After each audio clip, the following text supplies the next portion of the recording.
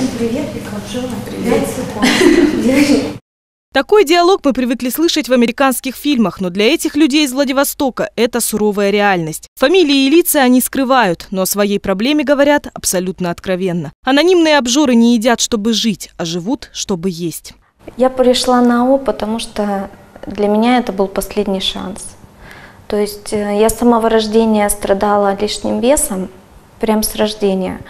И сколько я себя помню, я всегда была толстая, и вот эта жизнь с 11 лет на различных диетах, э, ну, это, знаете, э, люди, которые имеют лишний вес, да, они, они меня поймут, что это значит. Это, ну, так невыносимо было жить. И, наверное, последней каплей была, ну, вот такая ненависть к себе, нежелание жить вообще. Для Виктории, как и для всех, кто приходит на собрание анонимных обжор, еда – наркотик. Диета и спорт здесь не спасение. Парадокс, но в этой ситуации помогают такие же зависимые. Вместе они проходят 12 шагов специальной программы, которую два анонимных алкоголика придумали еще в 30-е годы прошлого века. Самое замечательное, что именно наша слабость является залогом успеха этой программы. Не сила, а слабость связывает нас друг с другом и с высшей силой и дает нам возможность сделать то, на что мы не способны в одиночку.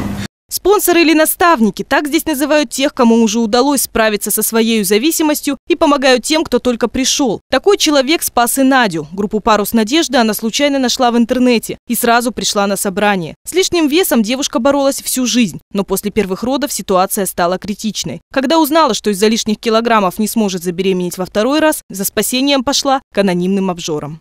Месяцев семь, наверное. Назад я первый раз пришла на группу. Сейчас у меня какие результаты? Я сейчас закончила четвертый шаг, это очень глубокий анализ своих э, эмоциональных отношений с другими людьми.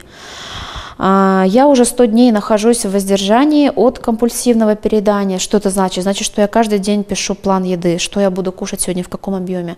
Я это отправляю своему наставнику, чтобы она мне утвердила, да, все в порядке, потому что я могу себе придумать, что я могу там съесть лишнего, и все будет в порядке. Вот, то есть тут нужно сильно не надеяться на себя, а позволить другим людям помочь тебе, и желающих помочь очень много. Для анонимных обжор сбросить лишние килограммы не главная цель. Они пытаются избавить от более серьезных психологических проблем, которые привыкли заедать. И ожирение – следствие серьезных стрессов и расстройств. Здесь еще вмешивается очень важный момент, что они не могут совладать не только с пищей, но и с восприятием самого себя – восприятием себя, восприятием своей как бы дефектности, какой-то вот э, минус характеристики. Может быть, их характеристик э, негативных очень много у этих людей, и они разнообразные. И вот за этой булимией как раз и стоят эти эмоциональные и когнитивные расстройства. Психологи против таких анонимных собраний ничего не имеют, ведь со статистикой нужно бороться. Ожирением в России сегодня страдают 30% людей. Среди самых толстых стран она занимает 19 место. В большинстве случаев причина ожирения – обжорство или булимия. И чтобы не пропасть под тяжестью лишнего веса, нужно прежде всего признать свою зависимость. Анна Бережная, Андрей Макаров, Вячеслав Петров. Новости на восьмом.